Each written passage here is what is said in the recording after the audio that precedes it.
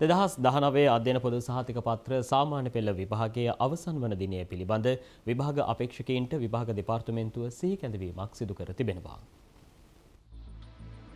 නිවේදනයක් නිකුත් කරමින් එම දෙපාර්තිමේන්තුව සඳහන් කර ඇත්තේ එළඹෙන දොළස් වනදා සාමාන්‍ය පෙළ විභාගය අවසන් වීමෙන් පසුව සිසුන්ට සාමකාමිව විසිර යන ලෙසයි. එමෙන්ම විභාග මධ්‍යස්ථානයේදී හෝ එම පරිශ්‍රයේදී කලහාකාරී ලෙස හැසිරුණොත් හෝ අනෙක් සිසුන්ට බාධාකාරී ලෙස හැසිරුණහොත් මෙන්ම පොදු දේපලවලට අලාභහානි සිදු කළහොත් විභාග පනත යටතේ දැඩි දනුවම් පමුණුවන බවද විභාග දෙපාර්තමේන්තුව නිකුත් කළ නිවේදනයේ සඳහන්. එවැනි සිද්ධියක් යටතේ විභාග ප්‍රතිඵල අවලංගු කිරීමටද කටයුතු කළ හැකි බවයි විභාග දෙපාර්තමේන්තුව නිකුත් කළ නිවේදනයේ වැඩිදුරටත් සඳහන් වන්නේ.